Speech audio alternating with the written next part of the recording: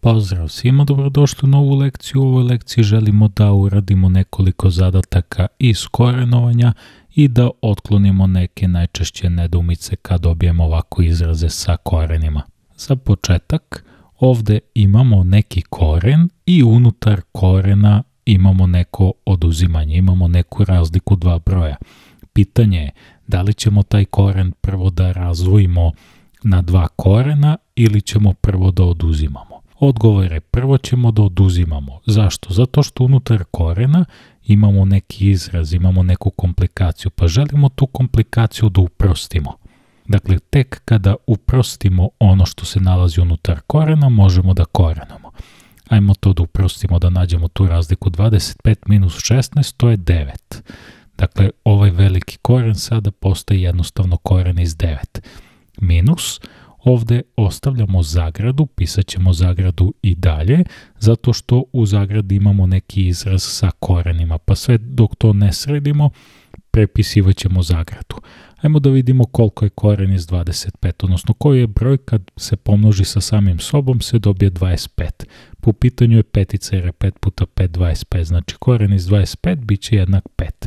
Minus, čemu je jednak koren iz 16. Koji je to broj kad pomnožim sa samim sobom se dobije 16. Tako, u pitanju je broj 4.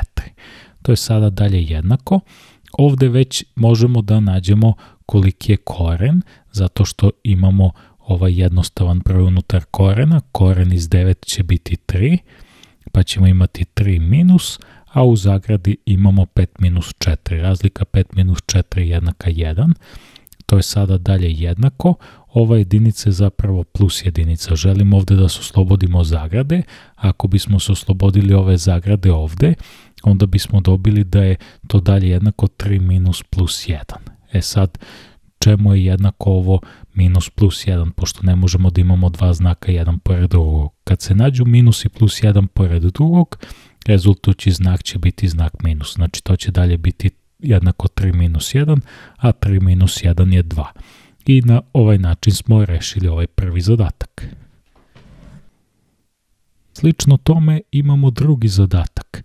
Imamo neku zagradu koju ćemo prepisivati jer u njoj imamo neki izraz, potrebno je da izvadimo koliki je koren iz 100, koren iz 100 je 10 jer je 10 puta 10 100, minus prepisujemo koren iz 64 je 8 jer je 8 puta 8 64 plus. A ovde ovo nećemo deliti na dva korena, nego ćemo prvo srediti situaciju unutar korena. Dakle, nađemo koliko je 100 minus 64.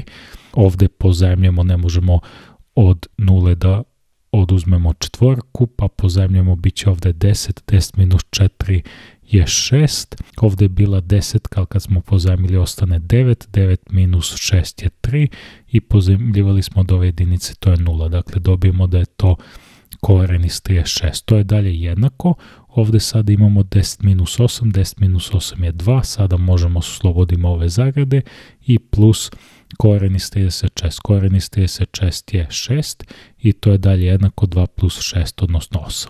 Jako jednostavan zadatak. I na kraju poslednji zadatak u ovoj lekciji, možete čak i da pauzirate ovaj video i da probate sami da ga uradite.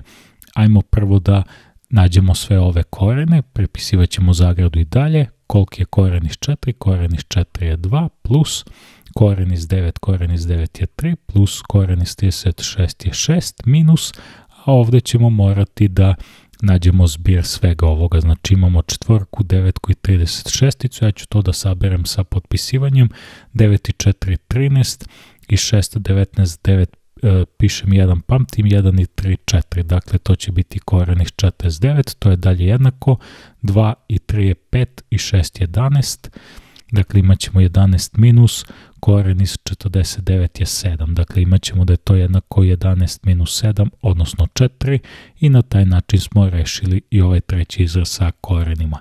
To je to što se tiče ove lekcije, vidimo se u narednoj lekciji, pozdrav i sve najbolje.